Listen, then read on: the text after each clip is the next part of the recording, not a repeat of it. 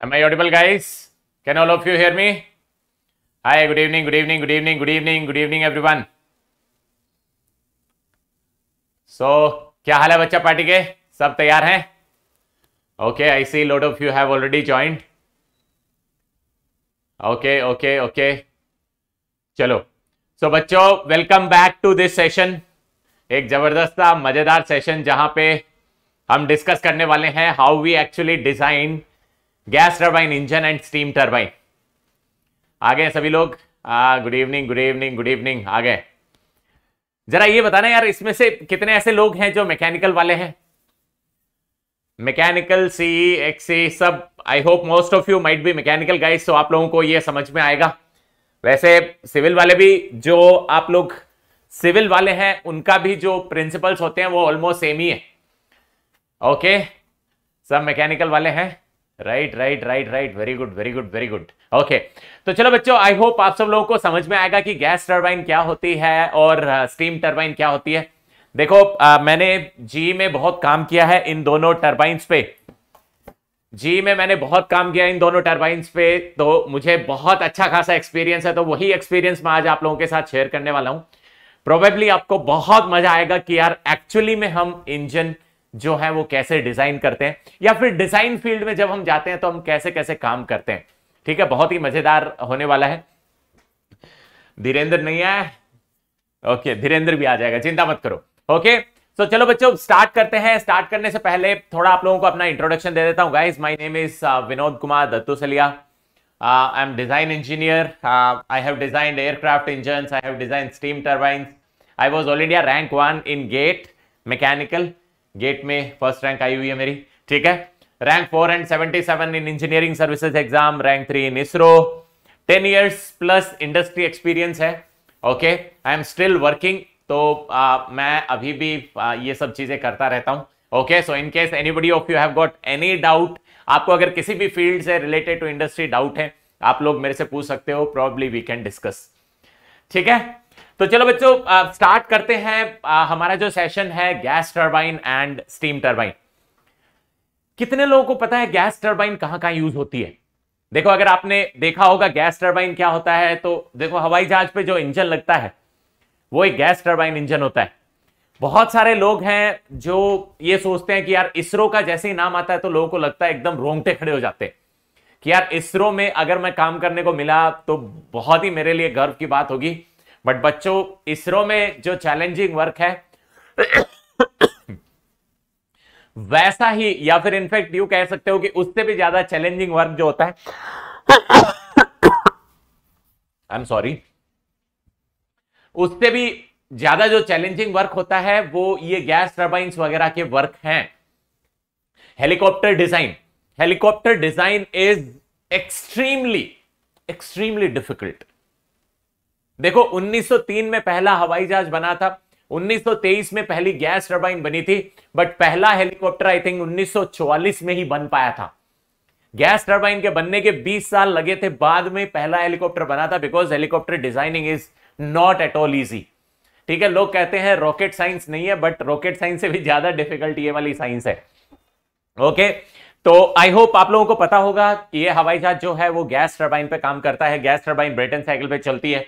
Gas turbine का एक और अगर क्रॉस सेक्शन दिखाऊँ जो कि पावर जनरेशन वाली गैस टर्बाइन, जो कुछ ऐसी दिखती है, ठीक है? ये आपकी गैस टर्बाइन है, यहाँ से एयर आती है, यहाँ उसको हम कंप्रेस करते हैं, यहाँ इस वाले सेक्शन में फ्यूल डाल के हम उसमें एनर्जी ऐड करते हैं एयर में, और फिर टर्बाइन के अंदर एक्चुअली में वर्क प्रोड्यूस होता है, जहाँ से आप वर्क बाहर निकालते हो। ये पावर प्लांट का एक टर्बाइन है बेसिकली देखा जाए तो ये टर्बाइन और ये टर्बाइन दोनों में बहुत ही माइन्यूट डिफरेंस होता है। जनरली पहले ये आया था। ये पहले आया था। वर्ल्ड वॉर के बाद में एक रिक्वायरमेंट फेल्ट हुई कि हवाई जहाज़ को आईसी इंजन से शिफ्ट करके गैस टर्बाइन पे लाया जाए। क्यों? क्योंकि हवाई जहाज़ डेढ़ किलोमीटर से ऊपर नहीं जा पा रहे थे। ठीक है? आई होप आप में से बहुत सारे लोगों ने ये स्टोरी सुनी होगी। ठीक है? Okay very good so that was about the gas turbine अगर हम स्टीम टर्बाइन की बात करें तो स्टीम टर्बाइन जो होती है that is use in power generation ठीक है? इसको हम पावर जनरेशन के लिए यूज़ करते हैं। इस स्टीम टर्बाइन को हम शिप्स चलाने के लिए भी यूज़ करते हैं। आई होप आप में से बहुत सारे लोगों को यह पता भी नहीं होगा कि जितने भी नेवी के शिप्स होते हैं मोस्टली उनपे स्टीम टर्बाइन यूज़ की जाती हैं। ठीक है स्टीम टर्बाइंस जो होती हैं they produces more power they can produces more they can produce more speed they are highly manoeuvrable तो इसके लिए उनको आ, आ, स्टीम टर्बाइंस को वहाँ पे यूज़ किया जाता है। बहुत ही बहुत ही बहुत ही कॉम्प्लेक्स है। दोनों के जो अरेंजमेंट्स होते हैं दोनों के सिस्टम्स होते हैं। तो दोनों को आज हम धीरे धीरे करके थोड़ा सा देखेंगे कि कैसे हम डिज़ाइन करते हैं। तो तैयार हो सभी लोग? Nuclear power steam turbine nuclear power steam turbine होती है वो बिल्कुल ऐसी ही होती है। न्यूक्लियर पावर में एक आगे न्यूक्लियर रिएक्टर अलग होता है। जो आपका बॉयलर होता है उसको आप न्यूक्लियर रिएक्टर से रिप्लेस कर देते हो। ओके तो चलो स्टार्ट करते हैं बच्चों देखते हैं आ, आ, कैसे कैसे गैस टर्बाइंस डिज़ाइन होती है। तो देखो गैस टर्बाइन जो डिज़ाइन है गैस टर्बाइन डिज़ाइन डिफ़िकल्ट नहीं है या स्टीम टर्बाइन डिज़ाइन डिफ़िकल्ट नहीं है। कोई भी कंपोनेंट जो डिज़ाइन करना है वो डिफ़िकल्ट नहीं है। आप आप में से बहुत सारे लोगों को लगता होगा, यार, ये बहुत ही कॉम्प्लेक्स टास्क है. बट देखो, जो एक डिज़ाइनर होता है, उसके दिमाग में ये वैसा ही टास्क है, जैसे मान लो आपको फ़ोन खरीदना है। कितने लोगों ने ये टास्क किया हुआ है फ़ोन खरीदना है? जब आपको नया फ़ोन खरीदना होता है तो आप लोग क्या करते हो? सबसे पहले नया फ़ोन खरीदना होता है तो क्या करते हो? मान लो मुझे एक नया फ़ोन चाहिए तो आप सबसे पहले क्या डिसाइड करोगे उस फ़ोन के लिए? सबसे पहले कि भाई उसकी रिक्वायरमेंट क्या है? फ़ोन की रिक्वायरमेंट क्या है? फ़ोन मुझे चाहिए क्यों? यही करते हो? ठीक है? गर्लफ्रेंड को गिफ्ट करना है तो आईफोन ही खरीद के दूँगा। ठीक है? ये एक रिक्वायरमेंट है। ओके मुझे अपने पर्सनल यूज़ के लिए चाहिए। अभी तक मैं नोकिया 1100 यूज़ कर रहा था, मुझे थोड़ा सा अपग्रेड करना है। तो ये हो गया दूसरा रिक्वायरमेंट ठीक है? उसके बाद में पीडब्ल्यू की क्लासेस करनी है, वो हो गया तीसरा रिक्वायरमेंट मुझे भैया इंस्टाग्राम पे बहुत सारी रील देखनी है। मैं बोर हो गया हूँ, रात को लैपटॉप पे कुछ कुछ देख के तो अब मैं इंस्टाग्राम की रील देखा करूँगा। ठीक है? तो इसलिए मुझे इसलिए मुझे एक फ़ोन की रिक्वायरमेंट है। अब फ़ोन की तो रिक्वायरमेंट आपको पता चल गई कि ठीक है, मेरे को फ़ोन की रिक्वायरमेंट है बट खरीदेंगे कौन सा? जो खरीदते हो, वो इस पे डिपेंड करता है कि जेब में कितने टके हैं। ठीक है? जेब में कितने टके हैं, वो सबसे ज़्यादा इंपॉर्टेंट टास्क होता है। रिक्वायरमेंट तो हर किसी की कुछ भी होगी। आपकी रिक्वायरमेंट कुछ भी हो सकती है। मैकेनिकल वाले हैं, उनकी तो रिक्वायरमेंट सब भी, सभी कहते हैं कि, हे भगवान, एक गर्लफ्रेंड दिला दे। मैं सूखा पाका ही घूम रहा हूँ, मेरे से कोई बात ही कर ले। ठीक है गर्लफ्रेंड ना हो, कम से कम बात ही कर ले। रिक्वायरमेंट है। लेकिन मीट होगी या नहीं होगी, उस पर डिपेंड करता है भाई। कितने जेब में पैसे हैं? ठीक है? तो आपको फ़ोन अगर खरीदना है तो कितने पैसे आप जेब में लेके घूम रहे हो, उस पर डिपेंड करता है।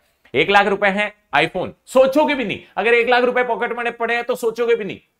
सीधा फटाफट जाओगे आईफोन खरीद के ले आओ। एक लाख नहीं है, बीस हज़ार है। बीस हज़ार है तो आ जाओ। एक लाख आईफोन खत्म हो गया। वन प्लस वाली रेंज भी खत्म हो गई। अब आ जाओ सैमसंग सैमसंग ओप्पो इन सबसे। ठीक है? तो इन सब वाली रेंज में आ गए तो आपको पता चल गया भैया कितने पैसे हैं इसके बेसिस पे मुझे। या तो आईफोन पे जाऊँगा या नॉर्मल वाले फ़ोन पे जाऊँगा। ठीक है?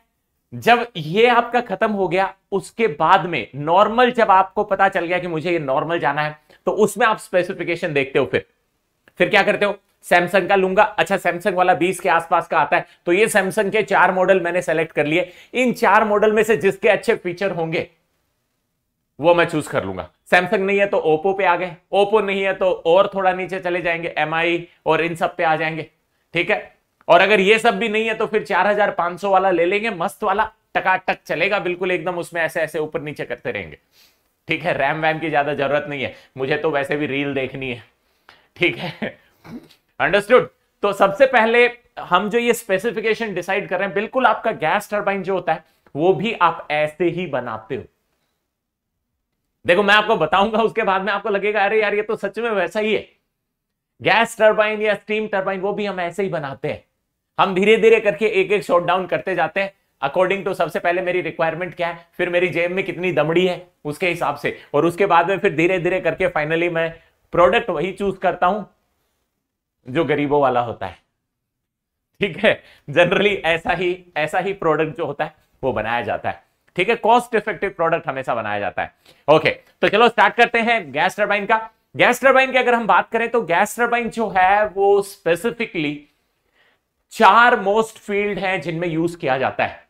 सबसे पहले जो गैस टर्बाइन अगर आप देखोगे तो एविएशन में बहुत यूज़ होता है, हवाई जहाज़ में।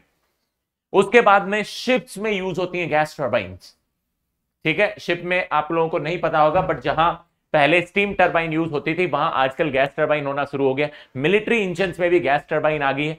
इसके बाद में नेक्स्ट है use is power plants power generation के लिए गैस टर्बाइन को यूज़ किया जाता है।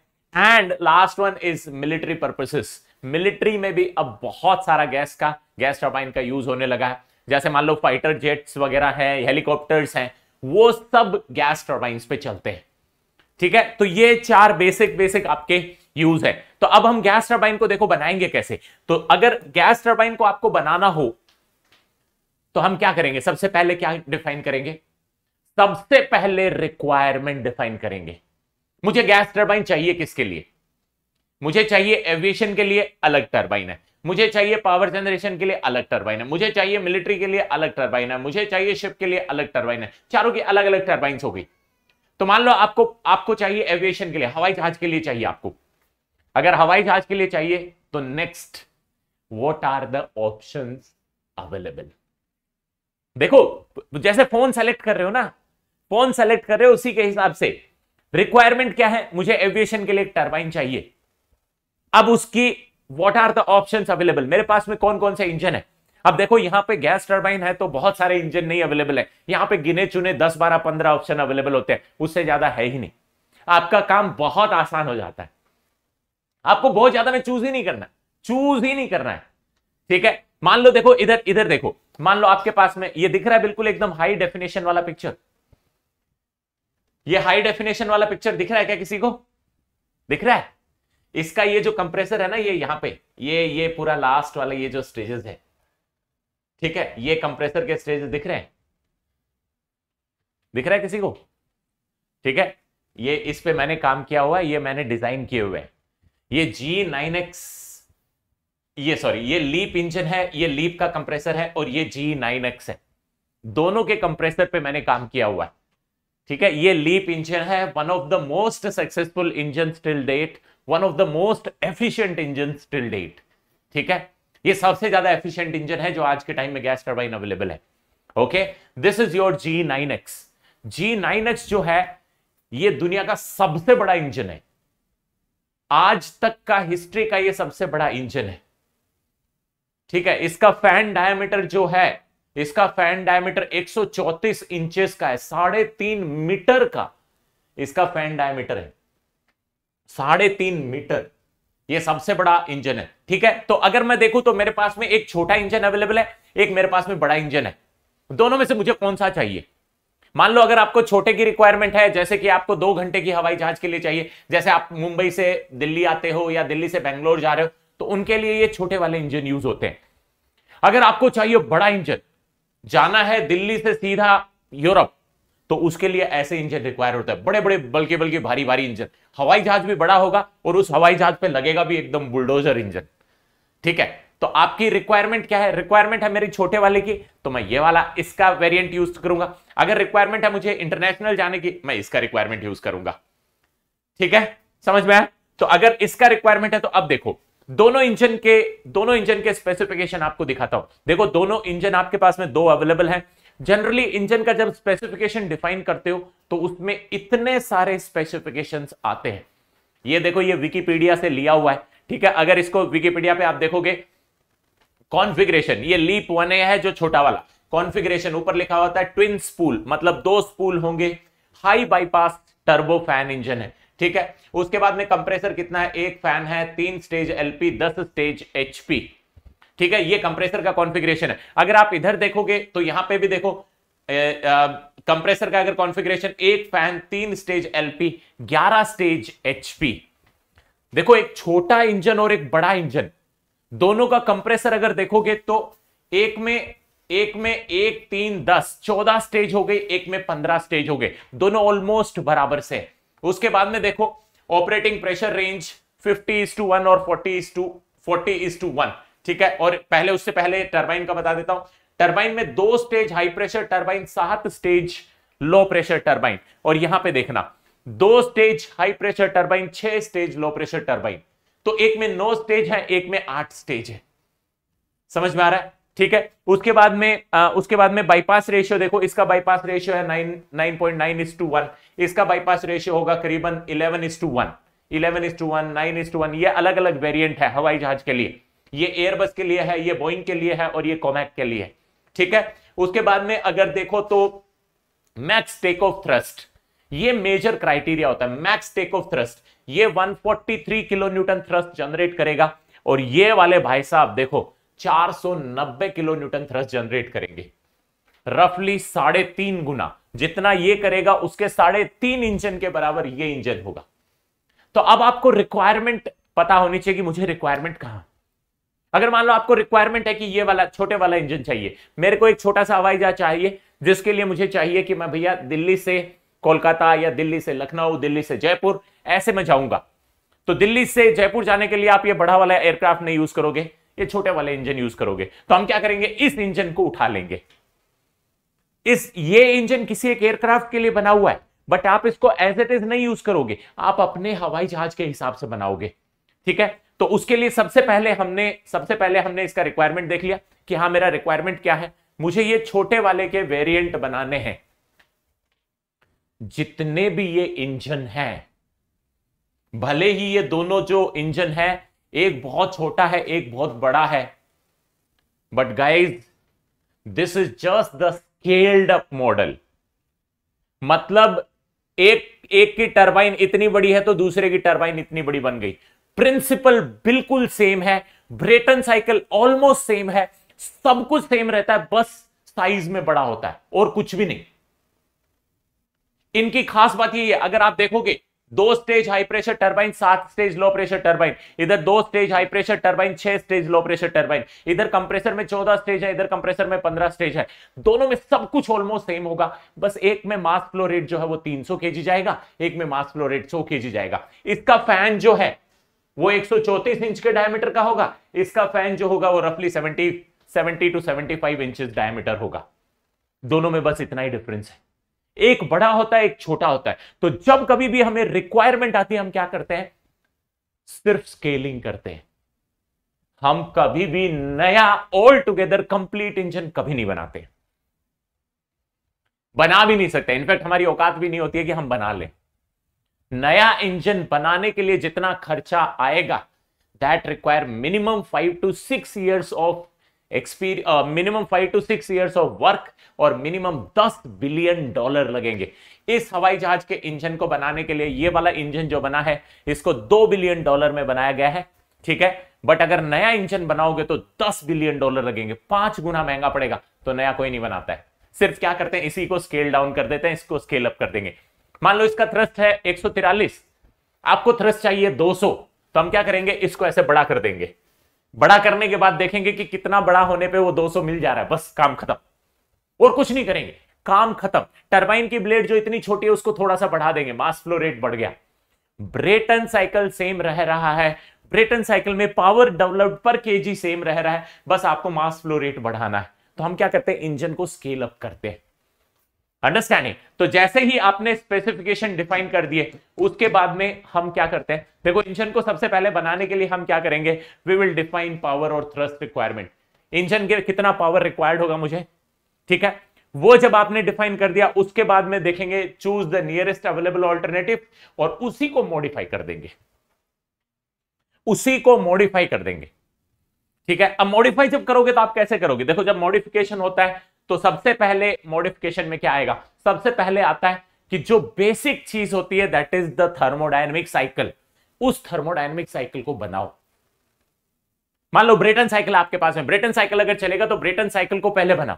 ब्रेटन साइकिल कैसे बनेगा? ब्रेटन साइकिल में ऑलरेडी एक एग्जिस्टिंग इंजन का ब्रेटन साइकिल आपने डाला हुआ है। उस एग्जिस्टिंग इंजन के ब्रेटन साइकिल पे आप थोड़ा मॉडिफाई कर लो। मॉडिफाई करके हम क्या करेंगे? मान लो आपका कंप्रेसर प्रेशर है।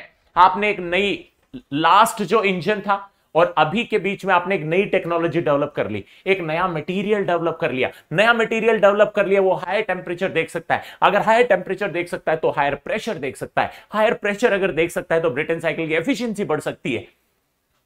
तो अगर एफिशिएंसी बढ़ सकती है तो एक और स्टेज डाल दो भैया। ब्रिटेन साइकिल को थोड़ा सा मॉडिफाई कर दो। ठीक है?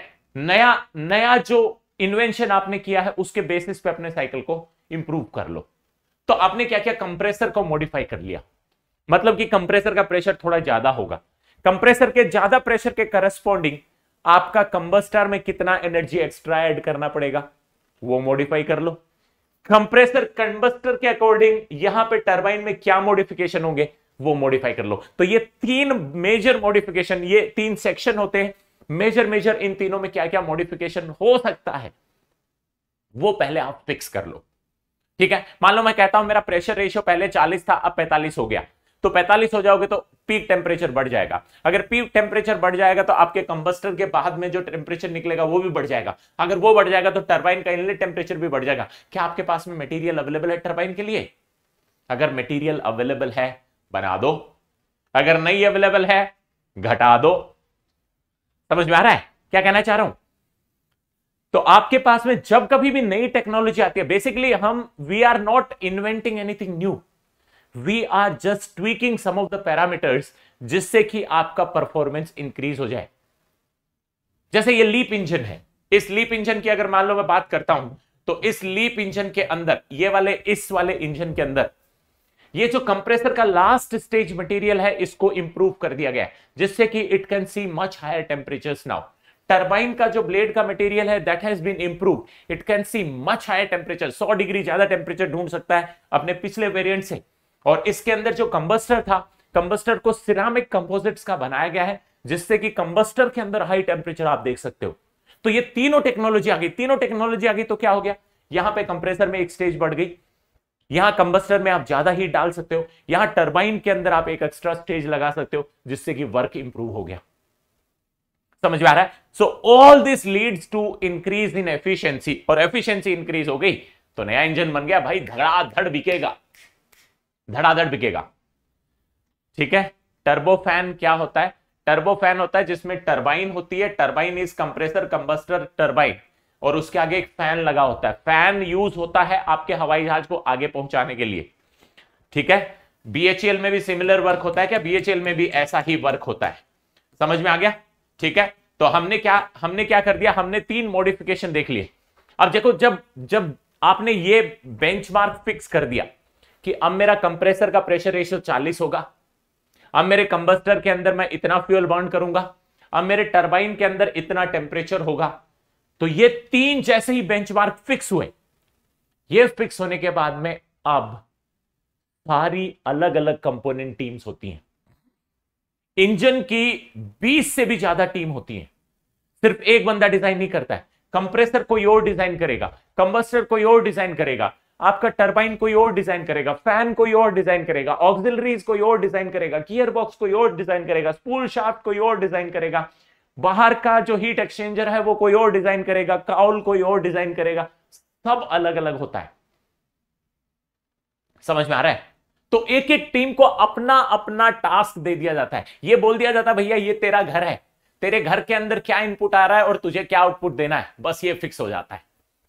मतलब कंप्रेसर वाली टीम को बोला जाएगा कि आपके अंदर जो भी एयर आ रही है, उसका प्रेशर रेशियो 40 होना चाहिए। मुझे नहीं पता 40 कैसे करोगे बट 40 चाहिए। बस उसको ये टास्क दे दिया। तो कंप्रेसर वाली टीम क्या करेगी? 40 प्रेशर रेशियो लेके आएगी। टर्बाइन को ये टास्क दे दिया गया। कि भैया तुझे पाँच किलो एयर मिलेगी 1600 डिग्री सेंटीग्रेड पे, तुझे इतना वर्क निकालना है। अब वो देखेगा, तीन स्टेज लगाए, चार स्टेज लगाए, छोटा करे, बड़ा करे, उसको सब उसका काम है। अंडरस्टैंड अंडरस्टैंडिंग ठीक है? तो ये कर दिया। ये करने के बाद में देखो, अब each component is designed separately सारे कंपोनेंट अलग अलग डिज़ाइन होते हैं। और जब सारे कंपोनेंट अलग अलग डिज़ाइन होते हैं तो सबसे पहले हम क्या करते हैं? एक एक कंपोनेंट का सबसे पहले कंप्रेसर हो गया, उसके बाद में कंबस्टर हो गया, टरबाइन हो गया, इन सबको डिज़ाइन कर रहे हैं। जब कंबस्टर को डिज़ाइन करोगे, कंप्रेसर को डिज़ाइन करोगे, टरबाइन को डिज़ाइन करोगे तो इन तीनों के इनपुट जो होते हैं, उसमें हम सबसे पहले जो इनपुट में जो एनालिसिस करते हैं we do thermal analysis this is the first type of analysis that we do thermal analysis क्या होता है? देखो ये ये ये थर्मोडाइनमिक साइकिल्स हैं पूरे। तो इनका थर्मल एनालिसिस सबसे पहले होता है। मतलब कितना एयर आएगा, उसके पास में कितना एनर्जी होगा, उसका प्रेशर कितना इंक्रीज करोगे। प्रेशर इंक्रीज करने के बाद में उसका कितना टेम्परेचर होगा और टेम्परेचर इंक्रीज होने के बाद में हर कंपोनेंट में क्या क्या टेम्परेचर आएगा। मतलब आपके पास में एक टर्बाइन ब्लेड है, आपके पास में कंप्रेसर ब्लेड है, कुछ भी है। तो जब एयर आएगी तो अपने साथ में टेम्परेचर लेके आएगी तो उसकी वजह से आपके टर्बाइन का क्या टेम्परेचर होगा? तो that is the first analysis that is done सबसे पहला एनालिसिस होता है थर्मल एनालिसिस थर्मल करने के बाद में हम करते हैं उसका स्ट्रेस एनालिसिस मतलब आपकी ब्लेड के ऊपर जो स्ट्रेस आ रहा है, क्या आपकी ब्लेड उसको झेल पाएगी? देखो टेम्परेचर तो हम कुछ भी दे सकते हैं। हम कह देंगे मेरे टर्बाइन ब्लेड के पास में 1800 डिग्री टेम्परेचर होगा जा ले ले। अबे 1800 को झेलने वाला भी तो कोई चाहिए। तो हम पहले उसका एनालिसिस करते हैं स्ट्रेस एनालिसिस कि उस उस 1800 डिग्री टेम्परेचर पे उस पर क्या क्या स्ट्रेसेस आएँगे? क्या क्या फोर्सेस लगेंगे? टर्बाइन घूमेगी, उस पर सेंट्रिफ्यूगल फोर्सेस आएँगे, उस पर थर्मल स्ट्रेसेस आएँगे। हो सकता है आपकी ब्लेड ऐसे चल रही हो टेम्परेचर इतना गर्म हो कि वो मेल्ट हो जाए ऐसे। ठीक है? तो हम क्या करेंगे? हर मटेरियल को टेस्ट करेंगे कि आपके ऊपर क्या क्या स्ट्रेस आ रहा है। टर्बाइन ब्लेड बनाई जाती है और उसके ऊपर एनालिसिस किया जाता है। थर्मल अगर पास हुआ, फिर स्ट्रेस देखेंगे। स्ट्रेस अगर पास हुआ तो उसके बाद में हम जाएँगे फ्रीक्वेंसी एनालिसिस बहुत ही ज़बरदस्त एनालिसिस होता है फ्रीक्वेंसी का मतलब क्या होता है? जब आपकी ब्लेड चलती है तो चलते चलते ऐसे ऐसे वाइब्रेट करती है। ये आपको दिखेगा भी नहीं बट ऐसे ऐसे वाइब्रेट करेगी। और हो सकता है थोड़े दिनों में ऐसे ऐसे चलते चलते अगर एक तार आपने लिया और उस तार को ऐसे ऐसे बेंड आप करते हो तो क्या होता है? एक जगह से क्रैक होता है, टूट जाता है। टर्बाइन ब्लेड भी वैसी है, अगर मान लो ऐसा चल रहा है, कंप्रेसर ब्लेड भी ऐसी है, फ़ैन ब्लेड भी ऐसी है, दुनिया का हर कंपोनेंट वाइब्रेट करता है नेचुरल फ्रीक्वेंसी पे। और अगर रेजोनेंस आ गया तो फटाक से टूट जाएगा। तो बहुत इंपॉर्टेंट एनालिसिस ये एनालिसिस करते हैं। यहाँ पे अगर पास हो गया, फिर उसका लाइफ कैलकुलेशन किया जाता है। कितने साइकिल चलेगा? दस साल चलेगा, पाँच साल चलेगा, तीन महीने चलेगा या ज़िंदगी भर चलता रहेगा, ये एनालिसिस होता है। और ये चारों एनालिसिस होने के बाद में अगर कंपोनेंट पास हो जाए तो फिर आगे जाता है लास्ट एनालिसिस के लिए that is your cost and weight analysis मतलब उसकी कॉस्ट कैसे मिनिमम की जा सकती है, उसका वेट कैसे मिनिमम किया जा सकता है, जिससे कि कंपोनेंट जो हो वो आपको हैवी भी ना पड़े। हवाई जहाज़ में कंपोनेंट है तो लाइट वेट होना चाहिए। पैसा कम लगा होना चाहिए। पैसा ही पता लगा तुमने। एक ऐसा एक ऐसा मटेरियल लगा दिया जो थर्मल एनालिसिस झेल जा रहा है। आपका स्ट्रक्चरल एनालिसिस भी झेल जा रहा है। फ्रीक्वेंसी भी झेल जा रहा है। ये भी झेल जा रहा है। बट इतना महँगा पड़ रहा है कि बिकेगा ही नहीं। आईफोन है। आईफोन में सारी कैरेक्टरिस्टिक्स है। सारे एनालिसिस कर लिए। लेकिन खरीदेगा कौन? कोई नहीं खरीदेगा। तो आपको वापस से सारा एनालिसिस करना पड़ेगा बेस्ड ऑन द कॉस्ट तो देखा जाए तो सबसे पहले ये आता है। ठीक है, देखा जाए तो सबसे पहले ये आता है। ठीक है, उसके बाद में ये एनालिसिस शुरू होता है और फाइनली ये फिर आता है। कि भैया मैंने सही खरीदा कि नहीं? ठीक है तो ये सारे एनालिसिस करने पड़ते हैं ये अगर एनालिसिस अगर देखना हो तो आपको एक छोटा सा मैं एग्जांपल दिखाता हूँ कि हम एनालिसिस कैसे करते हैं। तो हमारे पास में बहुत ही प्रोफिशियंट टूल्स होते हैं। थर्मल एनालिसिस के लिए स्ट्रेस एनालिसिस के लिए फ्रीक्वेंसी एनालिसिस के लिए, हमने मॉडल्स बनाए हुए हैं। वो models accurately measure 99.9 percent accurately measure कर सकते हैं। What will be the temperature what will be the stresses what will be the life तो हम क्या करते हैं? सबसे पहले आपका कोई भी एक कंपोनेंट होता है, वो जैसे मान लो एक ब्लेड है। ब्लेड अगर आपको डिज़ाइन करना है तो ब्लेड के डिज़ाइन पे हम क्या करेंगे? हम फाइनाइट एलिमेंट एनालिसिस करते हैं। एक एक छोटा सा टॉपिक होता है that is called as finite element analysis वो आप जब एमटेक में जाओगे, तब पढ़ोगे। तो हम क्या करते हैं, एक ब्लेड को ऐसे छोटे छोटे पार्ट्स में डिवाइड कर लेते हैं। ये ये this is called as meshing ठीक है? आप ब्लेड को मेश कर लोगे। आपके पास कोई भी कंपोनेंट हो, सबको मेश करते हैं। और सबको मेश करके उसके ऊपर एनालिसिस करते हैं। तो बेसिकली ये छोटे छोटे छोटे छोटे मासेस हैं। These are small small masses जिस पे हम एनालिसिस करते हैं, जिस पे आप इक्वेशन लगाते हो, और कंप्यूटर जो है वो इन इक्वेशन को सॉल्व करता है। तो जब कंप्यूटर इक्वेशन को सॉल्व करता है तो देखो, एक टेम्परेचर प्रोफ़ाइल बनाई हुई है। एक टेम्परेचर प्रोफ़ाइल बनाई हुई है टर्बाइन की ब्लेड का। कि टर्बाइन की ब्लेड के ऊपर क्या क्या टेम्परेचर आएँगे? तो ये सबसे नीचे वाला टेम्परेचर जो है, जो सबसे ब्लू दिख रहा है, वो 500 डिग्री सेंटीग्रेड है। जो जो सबसे ऊपर, जो लाल कलर का दिख रहा है that is 917 degree centigrade 500 degree से 900 डिग्री अलग अलग ये टेम्परेचर ब्लेड देखेगी। तो देखो, इस पे सिमुलेशन किया गया। जब सिमुलेशन किया गया तो पता चला कि सबसे ज़्यादा टेम्परेचर यहाँ दिखेगा यहाँ दिखेगा यहाँ दिखेगा टॉप में दिखेगा, इधर दिखेगा। बीच वाला जो रीजन है, उस पर टेम्परेचर कम होगा, यहाँ नीचे वाले पे रीजन पे टेम्परेचर कम होगा। तो इस बेसिस पे अब आप देख सकते हो कि हाँ यार, ये ब्लेड कहाँ कहाँ ज़्यादा स्ट्रेसेस देख सकती है। ठीक है? तो ये आपका थर्मल एनालिसिस हो गया। थर्मल एनालिसिस में आपको पता चला कि मैक्सिमम टेम्परेचर जो आ रहा है, वो 900 डिग्री आ रहा है। अगर मान लो 900 डिग्री आ रहा है, इसका मतलब आपका टॉप जो मटेरियल लिमिट था लेट से 1000 डिग्री है तो you are within the range समझ में आ गया कि मतलब 900 डिग्री ठीक है। अब जब 900 डिग्री आपने टेम्परेचर रेंज फिक्स हो गया, अब उसके बाद में जाते हो आप, ये again this is one temperature profile ठीक है? अगर देखोगे तो ये टेम्परेचर प्रोफ़ाइल है। अगेन ये ब्लू जो होता है, वो लो टेम्परेचर होता है। रेड की तरफ़ आप जाते जाते हो तो हाई टेम्परेचर होता है। ठीक है? उसके बाद में अगर देखो तो see this is how we we actually do the analysis ये आपका एक एयर कंप्रेसर का इंपेलर है, जिस पे एनालिसिस किया गया है। अगेन ये आपका हवाई जहाज़ है। हवाई जहाज़ पे स्ट्रेस एनालिसिस किया गया सबसे ज़्यादा स्ट्रेस कहाँ आएगा? सबसे ज़्यादा लोड कहाँ लग रहा होगा? तो ये जो लाल लाल वाले रीजन होते हैं these are high stress areas ठीक है? जो ब्लू वाले रीजन है मतलब उनपे ज़्यादा स्ट्रेसेस नहीं है। तो देखो ऐसा ऐसा करके कुछ आता है। तो अब इस डेटा को देख के एक डिज़ाइन इंजीनियर होता है वो इस, इस डेटा को देख के बताएगा कि कौन सा कंपोनेंट कहाँ फेल हो सकता है। मान लो अगर मैं इस, इस इसके स्ट्रेस की बात करूँ या इसके टेम्परेचर्स की बात करूँ तो टेम्परेचर सबसे ज़्यादा इस वाले रीजन में होंगे। तो आपको अच्छा मटेरियल जो लगाना होगा, वो टिप पे लगाना पड़ेगा। समझ में आ रहा है? ठीक है? समझ में आ रहा है? क्लियर है? स्ट्रेसेस की अगर बात करूँ तो देखो स्ट्रेसेस सबसे ज़्यादा आ रहे हैं कहाँ पे? जहाँ जहाँ ज्वाइंट है। जहाँ जहाँ ज्वाइंट होते हैं, वहाँ पे मैक्सिमम स्ट्रेसेस आते हैं। कोई भी कंपोनेंट जब भी टूटता है, हमेशा ज्वाइंट से टूटता है। रियल लाइफ में भी आपने देखा होगा कि जब जब भी हम वेल्डिंग करवाते हैं, हमेशा कोई भी मटेरियल टूटता है तो जहाँ से वेल्ड किया हुआ, वहीं से टूटता है। 99% ऑफ़ द टाइम क्यों? क्योंकि वो एरिया होते हैं जहाँ पे स्ट्रेसेस ज़्यादा आते हैं। ठीक है? तो ये आपका स्ट्रेस हो गया। अब अगर आप देखोगे तो ये एक ये एक सिमुलेशन है जो आपको दिखा रहा है।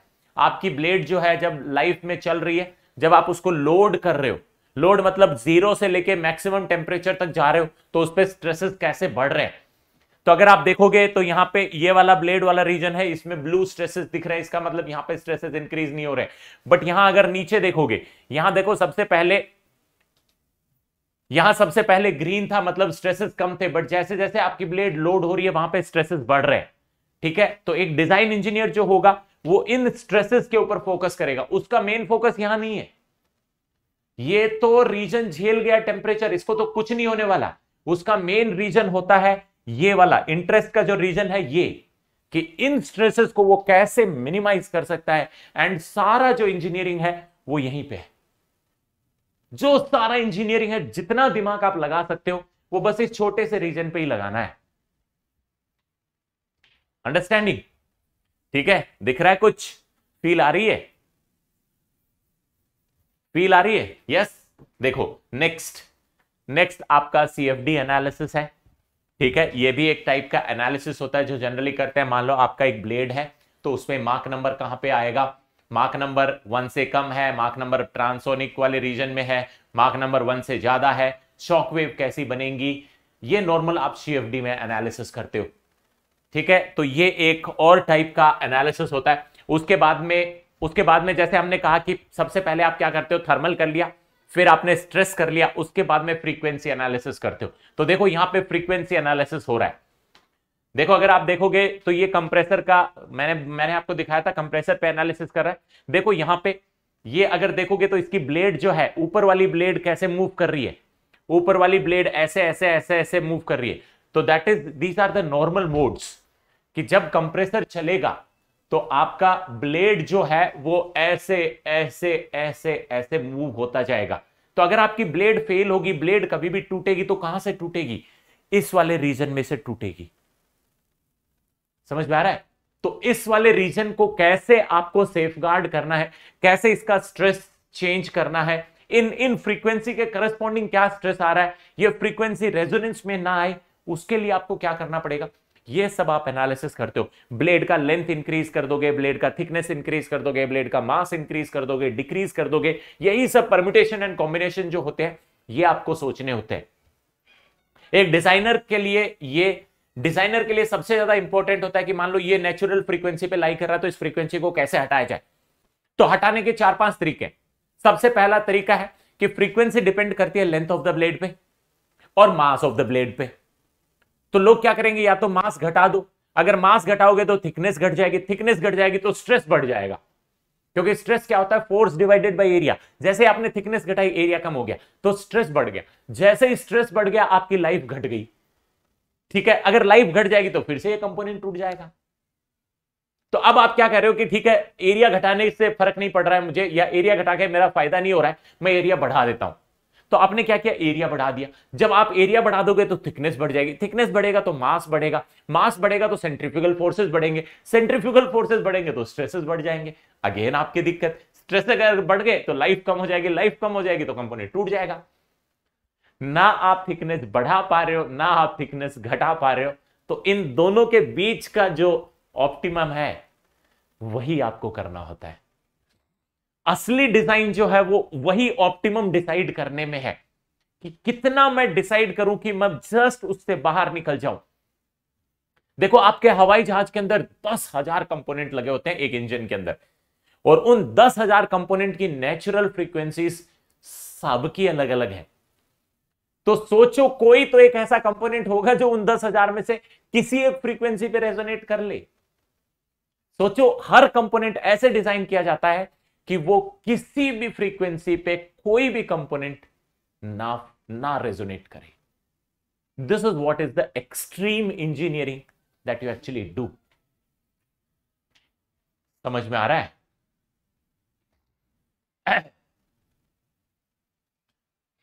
अमित, आप बोल रहे हो, सर, बस 18 सेकंड में विदाउट सॉफ्टवेयर कैसे एनालिसिस करते हैं?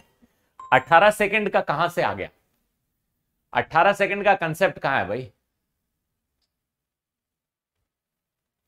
विदाउट सॉफ्टवेयर एनालिसिस आप, आपके पास में देखो, सबसे पहला जो आपके पास में एनालिसिस होता है that is analytical method normal आपका जो फॉर्मूला है frequency is under root M by L या फिर जो भी आप लिखो डायरेक्टली आप उससे एक छोटा सा कट निकाल सकते हो। मान लो आपको हीट ट्रांसफ़र देखना है। तो heat transfer you can directly write H Q is equal to H A delta T delta T 40 degree है एरिया वन मीटर स्क्वायर है. एच की वैल्यू अगर 300 है, फटाक से आप कैलकुलेट करके निकालोगे कि हाँ मोटा मोटी इतना आंसर आएगा. एग्जैक्ट आप कभी भी नहीं कर सकते हो. Within range of 30 to 40 percent deviation आप कैलकुलेट कर सकते हो एनालिटिकली उसके अलावा नहीं कर सकते हो. क्या बोल रहा? ही मीन्स 1918 1918 में कहा, क्या मेरे पास में था? 1918 में सुपर कंप्यूटर आपके पास में नहीं था बट 1918 में न्यूमेरिकल मेथड्स थे। लोग कैलकुलेट करते थे। आपको, आप लोग बिलीव नहीं करोगे कि जितनी सारी चीज़ें आप कंप्यूटर पे कर रहे हो, पहले लोग हाथ से करते थे। इसको डिस्क्रिटाइज करेंगे एक एक नोड पे इक्वेशन लिखेंगे, उन इक्वेशन को खुद सॉल्व करेंगे। आजकल ये काम बहुत आसान हो गया है। पहले जो काम आपका एक साल में होता था, वो आजकल दस सेकंड में हो जाता है। You will be surprise to know कि पहला मून मिशन जो भेजा गया था, उसका जो कोड लिखा गया था, शायद अठारह हज़ार पेजेस का लिखा गया था। पूरी एक किताब है, मेरी हाइट का पूरा एक कोड है। एक लेडी ने लिखा था, जो पीएचडी की स्टूडेंट थी, जिसने मास मून जो अपोलो 11 का जो कोड लिखा था, कि ये कैसे कैसे जाएगा हवाई जहाज़ में। उसका जो सॉफ्टवेयर कोड लिखा गया था that was of I think 18000 pages ये सब हाथ से होता था पहले। लोग बैठ के कैलकुलेशन करते थे, तभी बड़े बड़े बोर्ड भर जाते थे। क्लियर है? ये पहले भी होता था, ऐसा नहीं है। अंडरस्टैंडिंग समझ में आया सब लोगों को? ठीक है? तो ये आपका एक मोटा मोटी आइडिया है अबाउट द गैस टर्बाइन क्या समझ में आया?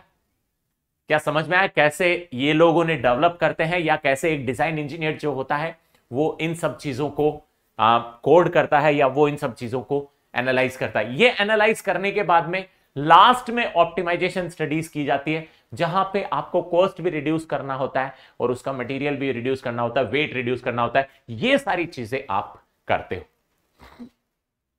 अंडरस्टैंडिंग समझ में आ रहा है? Sir why India don't have powerful jet engine ये एक बहुत ही बड़ा सवाल है, और इसका जो राइट right आंसर है, वो ये है कि we don't have the system buildup जहाँ पे हम इसको डेवलप कर सके। जी है जनरल इलेक्ट्रिक हवाई जहाज़ के इंजन बेचती है बट जी 1923 से हवाई जहाज़ के इंजन बना रही है। उनको 100 साल लगे हैं उस टेक्नोलॉजी तक पहुँचने के लिए जो आज हमारे पास में है। इंडिया ने स्टार्ट ही किया है 1980 से 1983 से। बेसिकली तेजस से इंडिया ने स्टार्ट किया है। तो इंडिया को भी 100 साल लगेंगे। 100 नहीं लगेंगे तो कम से कम 60-70 साल तो लगेंगे कि हम अपना अपना एयरक्राफ्ट जो है, वो सुपरसोनिक एयरक्राफ्ट हम खुद का बना सके। आसान नहीं है। कोई भी आपकी आपको अपनी टेक्नोलॉजी देगा नहीं। गैस टर्बाइन का जो काम होता है उसमें जो टरबाइन के ऊपर काम होता है, वो सिर्फ़ अमेरिका में होता है। टरबाइन का कोई भी काम इंडिया में होता ही नहीं है। इंडिया में जो काम होता है, टरबाइन को छोड़ के बाकी सारा काम इंडिया में होता है बट टरबाइन का काम सिर्फ़ अमेरिका में होता है। तो इंडिया के जो इंजीनियर्स हैं, उनको बेचारों को टरबाइन की टेक्नोलॉजी के बारे में या टरबाइन पे काम करने वाला जो एक्सपीरियंस है, वो अभी है ही नहीं। तो वो नहीं है तो धीरे धीरे करके उसको डेवलप करने में टाइम लगेगा। तेजस को अठारह से तेजस हम बना रहे हैं। 2003 में जाके पहला प्रोटोटाइप बना था। 20 साल लगे हमें बनाने में। बट धीरे धीरे करके जैसे जैसे एक्सपीरियंस आता जाएगा जैसे जैसे हम फेल होते जाएँगे वैसे वैसे हम नई चीज़ें डेवलप करते जाएँगे, नया एक्सपीरियंस लेंगे and we will be full fledged तो 2035 2040 तक India will also have its own superjet understanding understood ठीक है? अंडरस्टैंडिंग सर मेरा आज एनएचपीसी का एग्ज़ाम हुआ था थर्मल सेक्शन से पैंसठ प्लस क्वेश्चन आए थे। वेरी गुड आपने कितने किए? ठीक है? ओके वेरी गुड तो चलो बच्चों एक एक चीज़ आई होप आपने मोटा मोटी देख ली होगी। ठीक है? जेट इंजन कैसे डिज़ाइन होते हैं समझ में आया कुछ? ठीक है? तो अब चलते हैं थोड़ा सा हम आ, स्टीम टरबाइन वाले पार्ट में। स्टीम टरबाइन जो होता है उसका डिज़ाइनिंग भी गाइस बिल्कुल एग्जैक्टली exactly सेम है जैसा आपका गैस टरबाइन का होता है। ठीक है?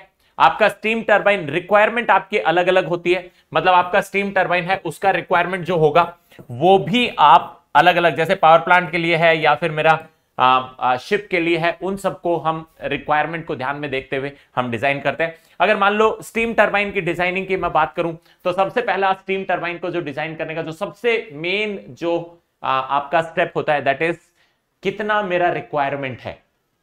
टरबाइन का मेरा क्या क्या रिक्वायरमेंट है? मेरे को पावर जनरेशन के लिए चाहिए या शिप को चलाने के लिए चाहिए? तो उसके हिसाब से आप रिक्वायरमेंट डिफाइन करते हो। स्टीम टरबाइन में जो दूसरी मेजर रिक्वायरमेंट जनरली जो पावर प्लांट में होती है दैट इज़ द एफिशिएंसी कि मुझे कितनी एफिशिएंसी की टरबाइन चाहिए। आपके जेब में जितना पैसा होगा, उसके बेसिस पे आप टरबाइन चूज़ कर सकते हो। आप कहते हो कि मेरे को 500 करोड़ का प्रोजेक्ट लगाना है, कम एफिशिएंसी वाला मिलेगा 30 परसेंट एफिशिएंसी का। आप कह रहे हो मैं दस हज़ार करोड़ लगा सकता हूँ बेस्ट पावर प्लांट मिलेगा आपको तो बेस्ट टर्बाइन आपको मिलेगी, ठीक है? तो based on the money requirement and money available वो आप डिसाइड कर सकते हो कौन सी टर्बाइन लगानी है। और जैसे ही आपने डिसाइड कर लिया you define the Rankine cycle steam में बहुत सारे वेरिएंट अब अवेलेबल होते हैं, ठीक है? Starting from very low pressure turbine to very high pressure turbine बहुत सारे आपके पास में वेरिएंट होते हैं। तो जो भी आपका रिक्वायरमेंट है, उसके हिसाब से आप डिसाइड करते हो साइकिल, और उसके हिसाब से आप हर कंपोनेंट को डिज़ाइन करते हो। आप नियरेस्ट अवेलेबल डिज़ाइन देख लेते हो और उसी के ऊपर मॉडिफाई करते हो, जैसे अभी हमने किया है। बट स्टीम के अंदर मॉडिफिकेशन ज़्यादा होते हैं। गैस टर्बाइन के अंदर मॉडिफिकेशन बहुत कम होते हैं। स्टीम के अंदर मॉडिफिकेशन ज़्यादा होते हैं, बिकॉज़ यहाँ पे टेम्परेचर रिक्वायरमेंट्स बहुत कम है। गैस टर्बाइन का मैक्सिमम टेम्परेचर है, that could go up to 1300 1400 1500 degree centigrade. यहाँ पे जो मैक्सिमम टेम्परेचर है, वो 560 के आसपास है। उससे ज़्यादा नहीं जाता है। तो यहाँ टेम्परेचर कम है। अगर टेम्परेचर कम है तो आपके पास में ऑप्शन बहुत सारे अवेलेबल है। तो यहाँ पे आप अच्छे से, यहाँ पे आप अच्छे से चूज़ कर सकते हो अलग अलग जो डिज़ाइनिंग है उसको। गाइज़ मैं एक वीडियो लिंक लेके आया था बट ये लिंक खुल नहीं रहा है मेरा। I tried opening it but ये बहुत ही मतलब भद्दा सा बिहेव कर रहा है। अदरवाइज़ मैंने इसमें इसमें दिखाया हुआ था एक गैस टर्बाइन के सॉरी एक स्टीम टर्बाइन की ब्लेड का एनालिसिस ठीक है? तो वो एनालिसिस अगर आप देखते तो आपको शायद एक अच्छी फील आती ठीक है? एनीवेज कोई बात नहीं ठीक है? आ, इसी इसी थोड़ा सा एनालिसिस को मैं देखो यहाँ पे दिखा रहा हूँ आप लोगों को। एक छोटा सा जो स्टीम टर्बाइंस का एनालिसिस होता है, उसमें मैंने पहले बताया आपको कि पहले हम थर्मल एनालिसिस करते हैं, उसके बाद में हम स्ट्रेस एनालिसिस करते हैं। तो सेम वैसा यहाँ पे भी होता है, यहाँ पे भी पहले हम थर्मल करेंगे, फिर स्ट्रेस करेंगे, फिर फ्रीक्वेंसी करेंगे। तो देखो फ्रीक्वेंसी में आपको एक एग्ज़ाम्पल दिखाया हुआ है कि कैसे आपके ब्लेड जो होते हैं, उनको हम सिमुलेट करते हैं। ये एक ये एक नॉर्मल कैंटिलीवर बीम है। अगर कैंटिलीवर बीम का नेचुरल फ्रीक्वेंसी देखोगे तो ऐसे ऐसे मूव करती है। तो जो आप सॉफ्टवेयर यूज़ कर रहे हो, उन सब में ये सिमुलेट कर सकते हो। और सिमुलेट करके आप देख सकते हो कि कौन सा स्ट्रेस कहाँ पे आ रहा है, कैसा आ रहा है, वो सारी चीज़ें आपको दिखती है। The beauty about the software is they give you कहाँ पे मैक्सिमम आएगा, कहाँ पे मिनिमम आएगा। एक एक पॉइंट तक आपको बता देते हैं कि हाँ इतना स्ट्रेस आएगा। एक्सट्रीमली एफिशिएंट सॉफ्टवेयर समझ में आ रहा है? दिख रहा है? ठीक है? अगेन ये देखो एक सी एफ़ डी एनालिसिस का मैंने एक छोटा सा सिमुलेशन यहाँ पे दिखाया। देखो, यहाँ पे आप एक सी एफ़ डी एनालिसिस कर रहे हो। ठीक है? सी एफ़ डी एनालिसिस जब आप कर रहे हो तो यहाँ पे आपका फ्लो जो है, वो कैसे आ रहा है? आपके कंप्रेसर की ब्लेड कैसे जा रही है? ये देखो, यहाँ पे एडी करंट जनरेट हो रहे हैं। अगर मान लो बीच में कोई एक छोटा सा आपके पास में ऑब्स्टेकल अगर आ गया तो उससे कितना एडी करंट्स आपके जनरेट होंगे? कितना आपका लॉस होगा? Very precisely you can calculate all these. Understanding यहाँ देखो आपको दिख रहा है कि यहाँ से फ्लो आ रहा है, ऐसे जा रहा है, उसके बाद में फ्लो ऐसे जाएगा। ये सारा देखो आपका फ्लो का डायरेक्शन भी आपको बता रहा है कि कैसे कैसे आपका फ्लो मूव कर रहा है। Can all of you see can all of you visualize कि आपका फ्लो कैसे कैसे जाता है?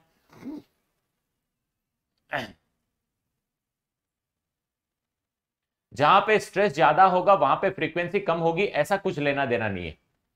समझ में आ रहा है ये? क्लियर है? अंडरस्टैंडिंग तो अगर ये क्लियर है तो बच्चों आ, इन सब में आप कौन कौन से सॉफ्टवेयर यूज़ करते हो? तो सॉफ्टवेयर का देखो बहुत ही मार्केट में बहुत सारे थाउजेंड्स ऑफ़ सॉफ्टवेयर अवेलेबल हैं but 90 percent of the cases में जो सॉफ्टवेयर यूज़ होते हैं वो है सबसे पहले मॉडल बनाने के लिए।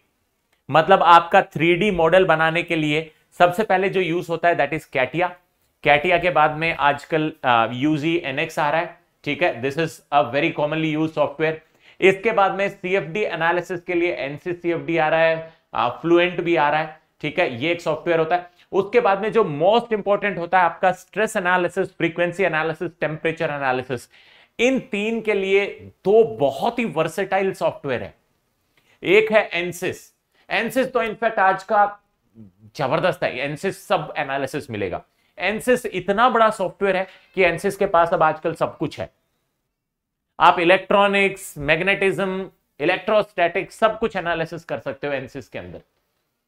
ठीक है? Very very vast very vast ठीक है?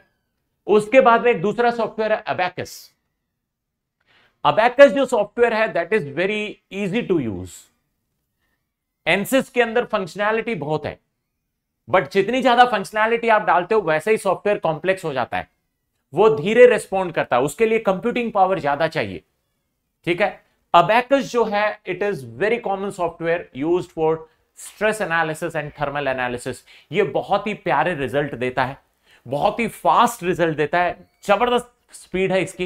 As compare to Ansys this run very fast इसमें डिज़ाइनिंग करना बहुत आसान है। ठीक है? अबैकस में जब हम स्टीम टर्बाइन पे डिज़ाइन करते हैं तो हम स्टीम टर्बाइन को मोस्टली अबैकस से देखते हैं। अबैकस का एक मॉडल तैयार करके, उसको रन करके, उसको रिज़ल्ट निकालना मैं एक दिन में कर देता हूँ। एक टर्बाइन अगर कोई कैटिया में मेरे को एक टर्बाइन का ब्लेड दे दे, और उसके ऊपर मुझे अगर एनालिसिस करना है तो उसका थर्मल एनालिसिस उसका स्ट्रेस एनालिसिस उसका फ्रीक्वेंसी एनालिसिस अबैकस में मैं एक दिन में कर देता हूँ। बट ये एनसिस में नहीं हो पाता। एनसिस में पाँच छह दिन लगते हैं। ठीक है? बट जो रिज़ल्ट की क्वालिटी आएगी मतलब एनसिस के अंदर इतने ज़्यादा ऑप्शंस अवेलेबल हैं कि आप टरबाइन की ब्लेड को बढ़ा सकते हो टरबाइन की ब्लेड को छोटा कर सकते हो, उसको ट्वीक कर सकते हो, उसकी टोपोग्राफी चेंज कर सकते हो। ब्लेड की अगर फ्रीक्वेंसी चेंज हो रही है तो आप वहीं पे ट्वीक कर सकते हो। ये सब एनसिस में अवेलेबल है, वो यहाँ नहीं अवेलेबल है। यहाँ अगर मुझे ब्लेड का लेंथ एक एम और बढ़ाना पड़ा तो स्ट्रेट अवे सीधा बढ़ा सकता हूँ बट अगर मुझे टोपोग्राफी चेंज करनी है उसकी तो मुझे नया मॉडल बनाना पड़ेगा तो मैं नया कैटिया मॉडल बनाऊँगा, उसको फिर एक दिन लगाऊँगा। तो अगर मुझे ओवरऑल चाहिए कि पूरा ब्लेड मैं कितने दिन में डिज़ाइन करूँगा तो हो सकता है मुझे यहाँ 20 रन रन करने पड़े। बट यहाँ पे मैं जल्दी कर सकता हूँ। यहाँ पे वो टोपोलॉजी ऑप्टिमाइज आपको करके देगा, या फिर you can you can do there are बहुत सारे ऑप्शन अवेलेबल होते हैं। तो इसकी वर्सिटैलिटी बहुत ज़्यादा है। जहाँ पे आपको रेगुलर काम करना है कि आया, कया, दे दिया, वहाँ अबैकस बहुत प्यारा है। और जहाँ पे काम ऐसा है कि भैया नहीं, सब कुछ मुझे ही करके देना है। ये ज़्यादा वर्सेटाइल है। So these are some of the software जो हम इंडस्ट्री में यूज़ करते हैं। अगर आपको मौका मिलता है तो गाइज़ मैं सजेस्ट करूँगा कि एनसिस में एटलीस्ट थर्मल और स्ट्रेस एनालिसिस सीख लो। मोटा मोटी 10-15 दिन का काम होता है। एक छोटा मॉडल लो, उस पर आप थर्मल एनालिसिस करो बाउंड्री कंडीशंस डालो और देखो कितना टेम्परेचर प्रोफ़ाइल आता है। उसके ऊपर कुछ लोड्स लगा दो, इतना फोर्स लगा दिया, इधर से इतना शेयर फोर्स लगा दिया, इधर से ये फोर्स लगा दिया। देखो कहाँ कहाँ पे स्ट्रेस आते हैं, कहाँ कहाँ पे लाइफ आती है, कहाँ कहाँ उसकी नेचुरल फ्रिक्वेंसी है। सब बहुत आसान है, एक महीने में सीख लोगे। अगर आपको ये सॉफ्टवेयर आते हैं कंपनी वालों को जब बताओगे कि मेरे को ये सॉफ्टवेयर आता है they will prefer you they will prefer you ये ध्यान में रखना। ठीक है तो अगर मौका मिले तो ये एन से सीख सकते हो। अबैकस से मैं, मुझे ऐसा लगता है कि एनसी सीखना ज़्यादा आसान है। Understanding which simulation software is use these are all simulation software जो आपको थ्री पिक्चर अभी यहाँ पे दिख रही है, ये सीएफडी फ्लुएंट का विजुअलाइजेशन है। और जो आपको यहाँ पे दिख रहा है, ये एनसिस का विजुअलाइजेशन है। ये जो स्क्रीन आपको दिख रही है, ये एनसिस की है। ये एनसिस का ही स्क्रीन है। ये आपका, ये भी एनसिस का स्क्रीन है। ठीक है, अगर मैं पीछे जाता हूँ, ठीक है, अगर मान लो, पीछे जा रहा हूँ मैं, ठीक है? ये सिमुलेशन जो है, ये आपका सिमुलेशन जो है, ये ये जो सिमुलेशन है, ये अबैकस का है। ये ये सिमुलेशन जो है, ये अबैकस का है, ठीक है? पिछले वाले सिमुलेशंस आपके एनसिस के थे, ठीक है? अगर मैं और और एनालिसिस की अगर बात करूँ, ये भी शायद आपका एनसिस का होगा। ठीक है? ये अबैकस है। ये NT eleven NT eleven is Abaqus NT eleven मतलब अबैकस में ये ये एक टेम्परेचर प्रोफ़ाइल को डिनोट करने का एक नाम है। NT eleven is temperature profile NT eleven NT twelve NT thirteen this is how they give it understand understand तो बच्चों, क्या आपको आइडिया लगा कैसे हम सॉफ्टवेयर डिज़ाइन करते हैं? सॉरी कैसे हम गैस टर्बाइन डिज़ाइन करते हैं या फिर स्टीम टर्बाइन डिज़ाइन करते हैं? डिफरेंट डिफरेंट कंपोनेंट्स को हम कैसे डिज़ाइन करते हैं? देखो, बहुत ही ज़बरदस्त चीज़ें होती हैं यार, ये ये करके बहुत मज़ा आता है। इनफैक्ट अगर तुम ये देखोगे, ये आपके सामने एक ब्लेड है। आपको, जब आप इसका एनालिसिस करोगे तो आपको पता चलेगा कि यार, इसके ऊपर स्ट्रेसेस आ रहे हैं। ठीक है? जैसे मान लो ये स्ट्रेसेस आ रहे हैं। तो सबसे चैलेंजिंग टास्क जो होता है, वो ये है कि अब इन स्ट्रेसेस को कैसे रिड्यूस करना है। तो ऑलरेडी मैंने आपको बता दिया कि आप हाइट बढ़ा सकते हो हाइट घटा सकते हो। बट जैसे जैसे आप हाइट घटाओगे बढ़ाओगे धीरे धीरे करके ये सब चीज़ें आपको पता लगने लगेंगी कि यार हाइट बढ़ाऊँगा तो नहीं हो, हो सकता हाइट घटाऊँगा तो भी नहीं हो सकता। तो मुझे क्या करना पड़ेगा? इस ब्लेड का प्रोफ़ाइल चेंज करना पड़ेगा। ब्लेड का प्रोफ़ाइल चेंज करोगे तो उसके वेलोसिटी ट्राइंगल चेंज हो जाएगा उसकी पावर जनरेटेड है वो चेंज हो जाएगी। वो आपको डिज़ाइन वाला नहीं चेंज करने देगा, बोलेगा कि मुझे 40 का प्रेशर रेशियो चाहिए तो मुझे 40 ही चाहिए तो तुम प्रोफ़ाइल नहीं चेंज कर सकते हो। अब प्रोफ़ाइल नहीं चेंज कर सकते हो तो तुम्हें यहाँ प्ले करना पड़ेगा कि यहाँ पे एक कर्व दे दूँ क्या मैं। ठीक है? कुछ एक रेडियस वाला टाइप से प्रोवाइड करा दू, एक वेल्डिंग करवा दू, जिससे कि स्मूथ ट्रांजिशन हो। यहाँ पे एब्रप्ट ट्रांजिशन ना हो। अगर एब्रप्ट ट्रांजिशन होगा तो स्ट्रेसेस आएँगे। तो उसके लिए आप क्या करते हो? कर्व रेडियस डाल देते हो। जब कर्व रेडियस डालोगे तो आपके स्ट्रेसेस कम होंगे। तो जब स्ट्रेसेस कम होंगे, आपको लगेगा, ठीक है रेडियस बढ़ा देता हूँ। जब रेडियस बढ़ाओगे अगेन आपका फ्लो पाथ में प्रॉब्लम क्रिएट करेगा। तो इन सब चीज़ों को आगे आगे पीछे मिला जुला के जो सब ऑप्टिमाइजेशन करना होता है that is the best understanding ठीक है? सो आई होप गाइज़ आपको आइडिया लगा होगा कि आप अगर एमटेक करते हो एमटेक के बाद में प्राइवेट कंपनी में जाओगे तो कैसे आपको चीज़ें करनी पड़ेंगी और क्या क्या करना पड़ेगा? अगर इंटरेस्टिंग लग रहा है तो आपके लिए मुझे ऐसा लगता है आपके लिए designing field is very good ठीक है? ऐसा नहीं होता देखो आ, हर किसी के बस की बात भी नहीं होती है। मैं इतने साल काम किया हूँ तो मैंने देखा है कि बहुत सारे लोगों को नेचुरली आइडियाज़ आते हैं। नेचुरली आइडिया आता है कि हाँ यार जिसको जिसको दिमाग में ज़्यादा क्लियर है ना देखो आप लोगों को लगता होगा कि यार गेट रैंक वन निकाल ली मैंने तो हो सकता है मेरे पास में बहुत ज़्यादा नॉलेज हो। गेट रैंक 250 वाले को बहुत कम नॉलेज हो, ऐसा ज़रूरी नहीं है। मार्क्स लाना अलग चीज़ होती है। चीज़ों को कंसेप्ट को समझना कंसेप्ट को अप्लाई करना, वो चीज़ें अलग होती हैं। ठीक है? ओवरऑल पिक्चर आप कैसे देख रहे हो, वो सब चीज़ें आपको आनी चाहिए। और वो सब चीज़ आती है तो अगर आपकी रैंक पीछे भी है तो भी बहुत अच्छा आप कर सकते हो। मैंने बहुत सारे लोग ऐसे देखे जिनकी रैंक बहुत पीछे थी बट उनके कंसेप्ट एकदम फाड़ है। ठीक है, जिसकी रैंक ऊपर आती है, उसके कंसेप्ट अच्छे होते हैं, ये सबको पता है। बट बहुत सारे लोग ऐसे होते हैं जो रैंक नहीं ला पाते बट उनके कंसेप्ट फाड़ होते हैं। उनको पता होता है कि कौन सी चीज़ क्या करेगी, कौन सी चीज़ कहाँ इंपैक्ट डालेगी। उनकी स्पीड स्लो हो सकती है। जितना जल्दी मैं ये सोच पाऊँगा कि अच्छा यहाँ पे स्ट्रेस आएगा तो मैं एक रेडियस कर्व डाल देता हूँ। फटाक से मैं इसको मॉडिफाई करके बना के ब्लेड को भेज दूँगा। मैंने शायद ये काम एक दिन में कर दिया बट जिसके कंसेप्ट फाड़ है, वो इसको दो दिन में करेगा बट एग्जैक्टली वही सॉल्यूशन लाके देगा। ठीक है? तो ये ये सब चीज़ें मैटर करती हैं बट मैटर जो सबसे ज़्यादा मैटर करता है वेदर आपका इंटरेस्ट है इसमें, क्या आपको मज़ा आ रहा है ये सुन सुन के? क्या देख के मज़ा आ रहा है ये लाल, पीला, हरा, नीला कि हाँ यार ये बहुत ही फैसिनेटिंग लग रहा है कि फ्रीक्वेंसी कैसे मूव कर रही है। आप विजुअलाइज कर सकते हो कि चीज़ें कैसे मूव करेंगी। सॉफ्टवेयर आजकल इतने एडवांस्ड आ गए कि आपको बता देंगे कौन सी चीज़ कहाँ पे काम करती है। And you will not believe कि दुनिया के जो सबसे ज़्यादा टैलेंटेड लोग होते हैं, वो सॉफ्टवेयर बनाते हैं। उनसे कम टैलेंटेड लोग होते हैं, वो ये डिज़ाइन करते हैं। जो सबसे ज़्यादा टैलेंटेड लोग होते हैं दे डिज़ाइन सॉफ्टवेयर जिस बंदे ने ये सॉफ्टवेयर डिज़ाइन किया, सोचो उसका दिमाग कितना तेज चल रहा होगा कि नहीं अगर बंदा यहाँ पे छोटा सा ट्वीक करेगा तो मेरा सॉफ्टवेयर एग्जैक्टली उसको रेप्लीकेट करना चाहिए एग्जैक्टली उसको मैच करना चाहिए। Software designing software is extremely difficult understanding मैंने देखा है। अगर आप लोगों को पता हो तो हाँ मैंने अपने लेक्चर में बताया था कि मेरे साथ में एक आई टी वाले बंदे ने ज्वाइन किया था ऐसी बेंगलोर में। ठीक है? वो बंदा अभी सॉफ्टवेयर बनाता है। वो एनसिस फ्लुएंट पे काम कर रहा है। और वो टॉपोलॉजी ऑप्टिमाइजेशन के लिए जो तरीके निकालता रहता है I see him I literally feel कि यार, ये बंदा काम कर रहा है। हम तो इस सॉफ्टवेयर को यूज़ कर रहे हैं। हम फ्लो कैसा आएगा, वो सॉफ्टवेयर बताएगा, हम मानेंगे कि हाँ भैया, ये ऐसा ही आएगा। हम तो सॉफ्टवेयर पे रिलाई कर रहे हैं। अगर सॉफ्टवेयर बोल देगा कि ये फ्लो ऊपर जाएगा तो हमें मानना पड़ेगा कि वो ऊपर जाएगा। बट वो बंदा है जो वो बताएगा कि ऊपर ही क्यों जाएगा। तो उसके पीछे जो 50 60 70 फॉर्मूले लग रहे हैं, उन फॉर्मूलों को ऑप्टिमाइज करना is again challenging. Understanding? So I hope guys मज़ा आया होगा आप लोगों को सुन के। क्या ज़बरदस्त लगा सब लोगों को? एक feel I.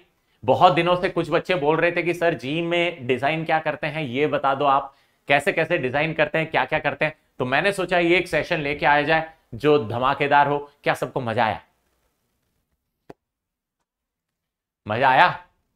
Yes sir how to get into the aerospace for aeronautical design यार, ये ज़रूरी नहीं है कि एरोस्पेस वाले ही करें। मैंने एरोस्पेस किया, इसका मतलब ये नहीं, आप लोग भी एरोस्पेस करो।